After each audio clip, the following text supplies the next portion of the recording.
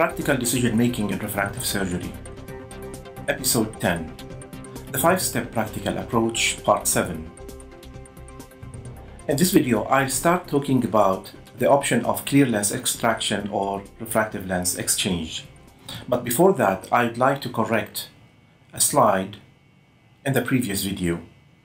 The correct information is the internal anterior chamber depth should be at least 2.8 millimeters in the posterior chamber type of IOL and at least 3 millimeters in the anterior chamber type of IOL. So when we look at the tomography, we have to consider the internal anterior chamber depth and as I mentioned, the depth should be at least 3 millimeters in the anterior chamber type and at least 2.8 millimeters in the posterior chamber type. So back to the option of clear lens extraction. This option is off-label, which means that there must be a very strong excuse to go for such an invasive procedure.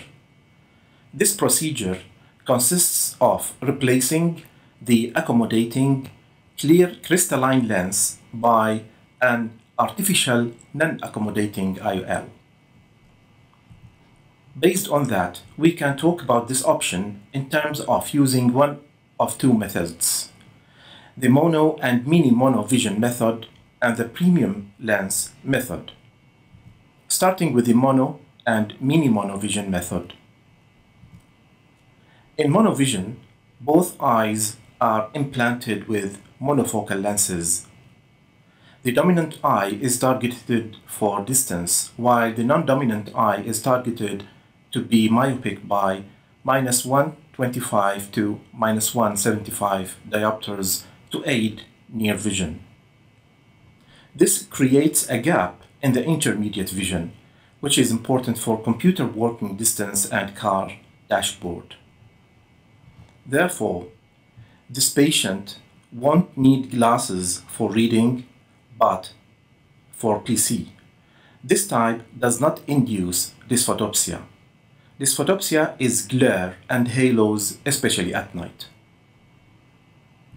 The mini monovision is a modified monovision. The non-dominant eye is targeted to be myopic by minus 0.5 to minus 0.75 diopters. Therefore, the intermediate vision will be good, but at the expense of near vision. So the patient will need reading glasses for fine prints. This type does not induce dysphotopsia as well. However, in both mono and mini mono vision, the decision is based on the tolerance test that will be discussed later in detail. The other method is clear lens extraction with premium lens implantation. There are three types of premium lenses multifocal, trifocal, and extended depth of focus lenses. The old type of multifocal lenses had high AD ranging between plus 4.5 diopters and plus 3 diopters for the near zone of the IOL.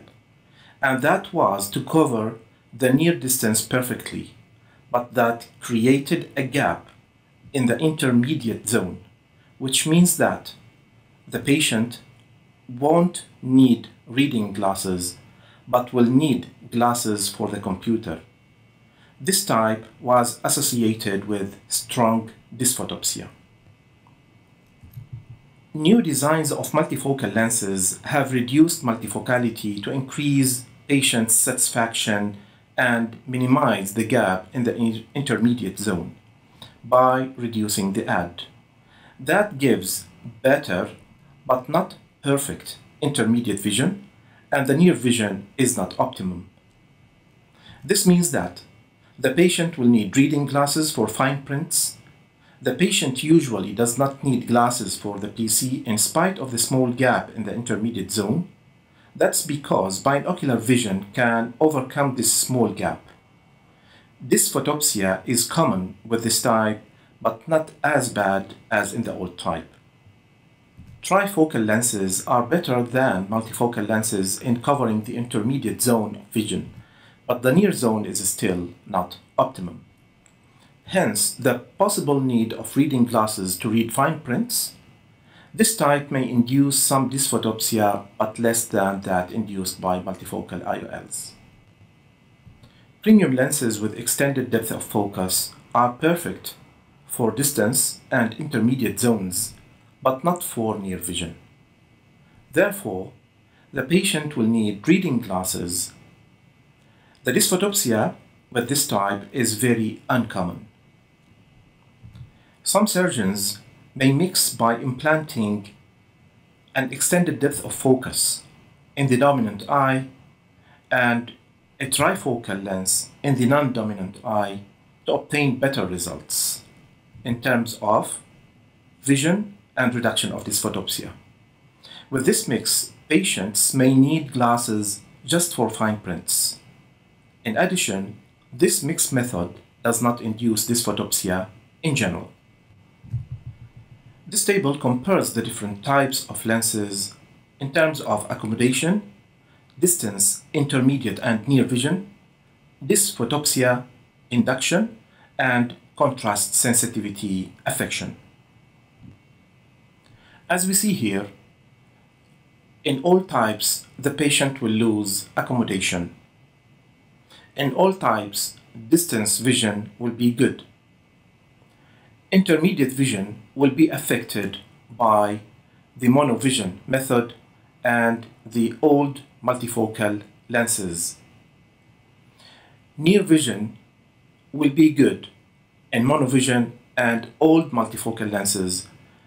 Otherwise, the patient will need glasses in the extended depth of focus and will need glasses for fine prints in mini monovision and the recent multifocal lenses and may need glasses for fine prints in both trifocals and mixed method. If we grade this dysphotopsia from 0 to plus 4, where plus 4 is the highest, old multifocal lenses induce the worst dysphotopsia, plus 4. The recent multifocals or the later multifocals will induce almost plus 3. Trifocals will induce plus 2. The extended depth of focus lenses will induce plus 1, while the mixed method may not induce.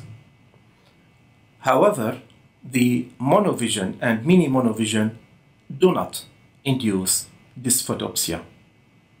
Contrast sensitivity is not affected by the monovision and mini monovision methods, while it is affected by all other types.